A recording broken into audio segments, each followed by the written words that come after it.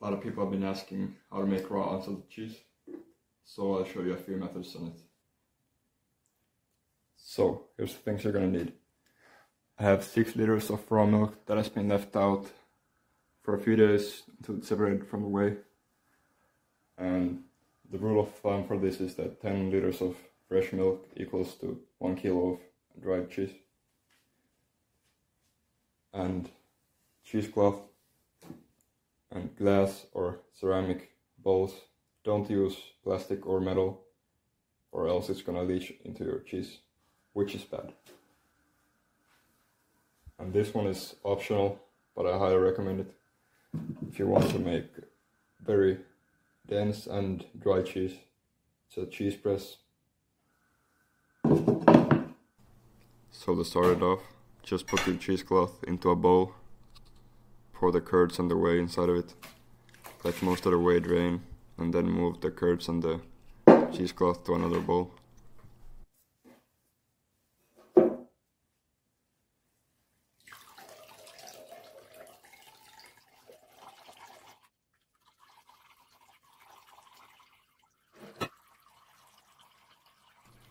Then pour off your whey into a jar and save it for later. You can use it for a lot of things.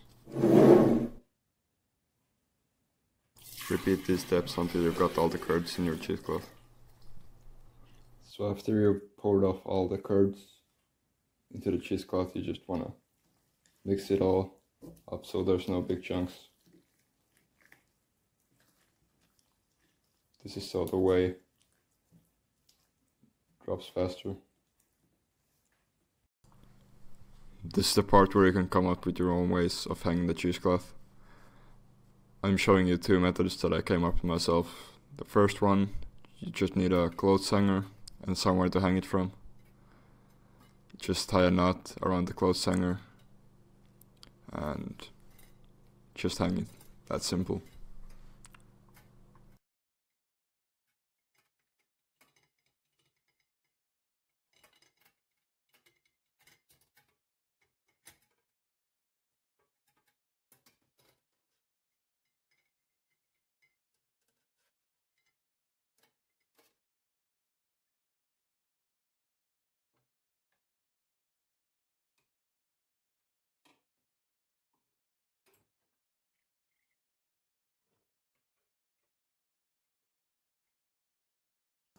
This is the second method.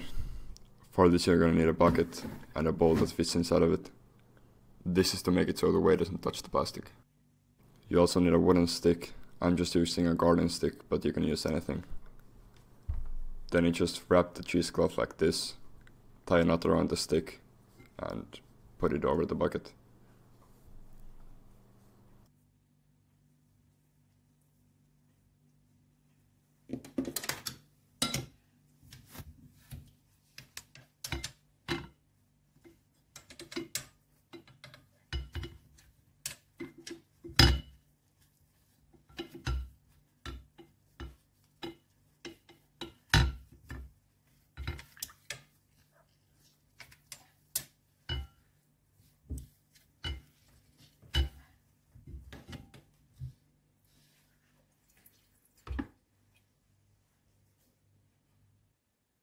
So after letting it drain for overnight or more or less, depending on how, how moist you want the cheese, should look something like this.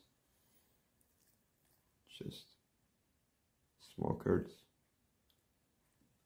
And if you want cottage cheese, just put it in the fridge and eat it. That's simple.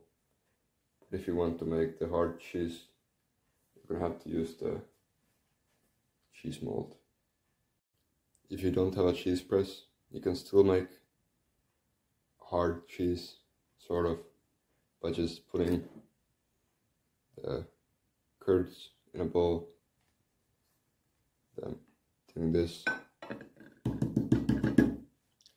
and then leaving this in the fridge to dry. So you want to take the cheese mold, put it over a bowl, and take the cheese. Then spread the cheesecloth like this. so it's evenly spread out. Then put the plate on, push.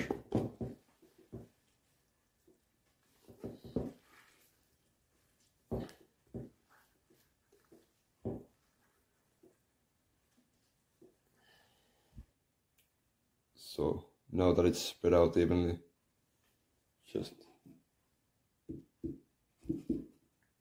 put the lid on, put some weight on top of it, and put it in the fridge. Two weeks later. So after a few weeks, 600 grams of cheese.